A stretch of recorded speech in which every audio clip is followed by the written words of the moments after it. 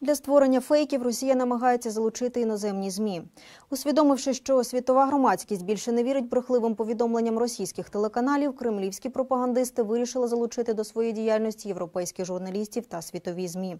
За даними воєнної розвідки України, департамент інформації та масових комунікацій Міністерства оборони країни окупанта терміново готує прес-тур іноземних журналістів на тимчасово окупованій території України.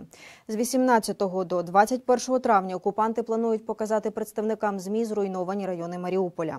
Щоб звинуватити Україну в руйнуванні міста та масових вбивствах мирних мешканців, російські пропагандисти вже завезли в Маріуполь уламки українських боєприпасів, зібраних зі всіх окупованих районів Донецької області, та готують завезених з Донецька та Горлівки так званих місцевих очевидців, які розповідатимуть журналістам про злочини захисників Маріуполя. Так званий прес-тур також передбачає виїзд групи з Ростова на Дону та відвідування журналістами Херсону, Нової Каховки, Скадовська, Армянська та Донецька, де заплановано зустріч з кремлівською маріонеткою Пушиліним.